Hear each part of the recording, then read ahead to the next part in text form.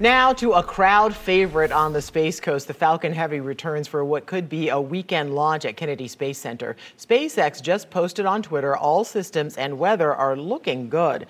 News 6's James Sparvero shows us how Falcon Heavy is only the beginning of SpaceX's ambitious goals this year.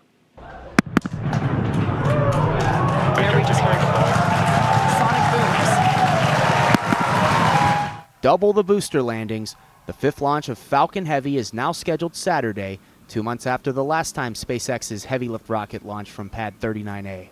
Liftoff. Like in November, this weekend's Falcon Heavy launch is also a national defense mission for the Space Force. And throughout the year, SpaceX plans an even busier launch schedule than its record breaking 2022.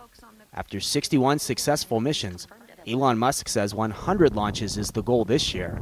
That would be an average of nearly two launches every week there's really nothing to compare it to in, in recent history. Of course, back in the very early days of the space program, there were lots of launches out of the Cape as they were testing rocketry from the very beginning. But in the last two decades, nothing has equaled this record.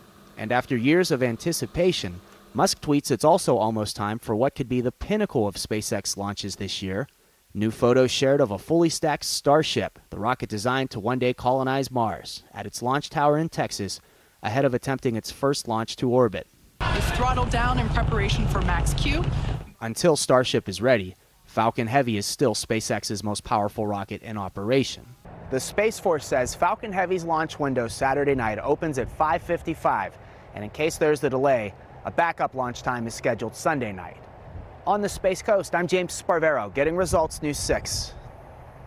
And you can get all of the big space stories sent straight to your inbox. It's all part of Erik von Ancken's covering the Space Coast and Beyond newsletter. Sign up at clickorlando.com slash newsletters, all lowercase.